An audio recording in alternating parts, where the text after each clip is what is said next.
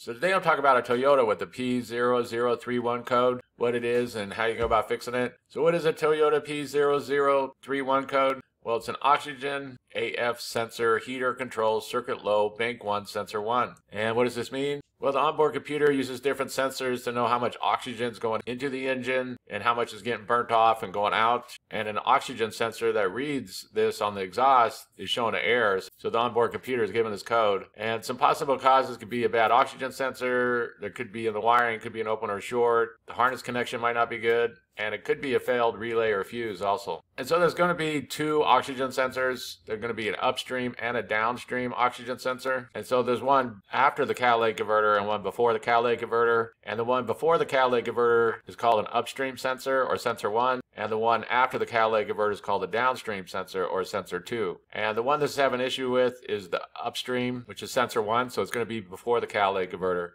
And they can be down on the exhaust underneath the car, but quite commonly the upstream sensor can also be up underneath the hood in the engine compartment on the exhaust manifold. And so it could just vary. You'll have to Google it for your particular Toyota or just go and look, but it's going to be the one before the catalytic converter, but it'll be on the exhaust somewhere. And so the first thing to do after you find the upstream oxygen sensor is going to be to check out the wiring because bad wiring, a bad connection, an open short, anything like this can cause the same symptoms as a bad O2 sensor. So you're going to want to check that out and be sure that's all good. And one thing to keep in mind too is that this whole circuit's on a fuse and a relay. They'll usually be labeled like right here, AF heater, that's a relay. And if that relay goes bad, then it could cause issues.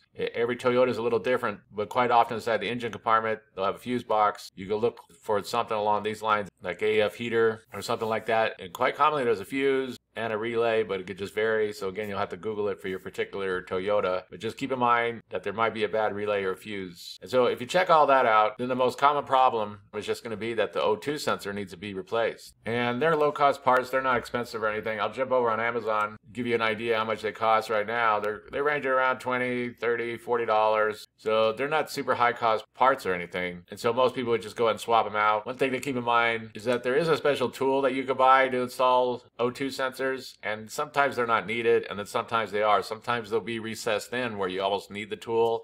But Toyota is usually pretty good about you could just use an open end wrench, but you want to examine it and be sure because you won't be able to use a socket to get it back in since that wire is going to be in the way.